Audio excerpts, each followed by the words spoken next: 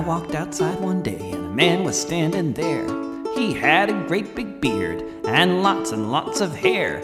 He said, Won't you come down to the shore and join my jolly crew? We'll wander around the world beneath the skies of blue. We'll sail upon the seven seas, travel near and far.